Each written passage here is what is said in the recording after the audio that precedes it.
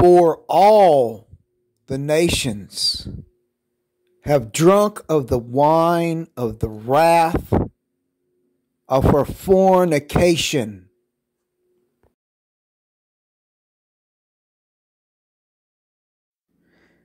The kings of the earth have committed fornication with her, and the merchants of the earth have become rich through the abundance of her luxury.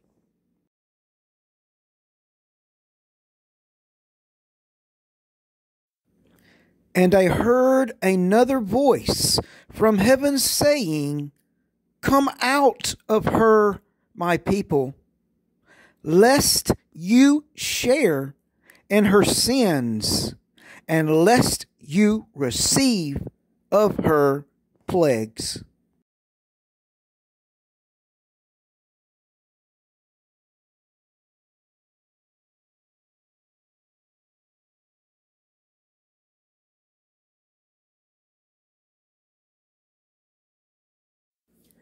For her sins have reached to heaven, and God has remembered her iniquities.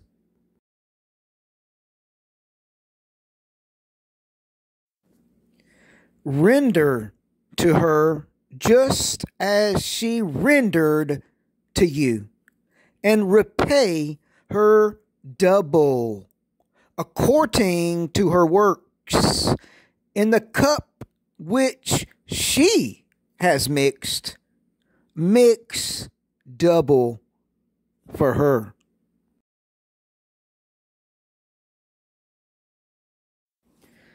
In the measure that she glorified herself and lived luxuriously, in the same measure, give her torment and sorrow gnashing of teeth, I'll add. For she says in her heart, I sit as queen, and am no widow, and will not see sorrow.